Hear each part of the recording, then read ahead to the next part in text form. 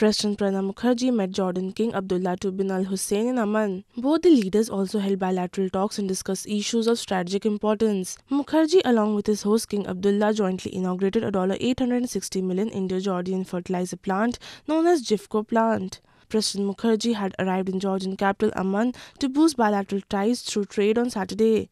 Mukherjee is on a six-day visit to three countries, Jordan, Palestine and Israel. As part of the ceremonial welcome, Mukherjee was accorded the Guard of Honor and 21-gun salute. Reportedly, India plans to import 300 million tons of phosphoric acid annually from the newly inaugurated plant. India and Jordan signed the first bilateral agreement for cooperation in 1947. It was formalized in 1950 when full diplomatic ties were established. The presidential visit is seen as another step towards bolstering India's bilateral ties with Jordan, which is known for being investment conducive. Correspondent Sominder from Amman for ANI.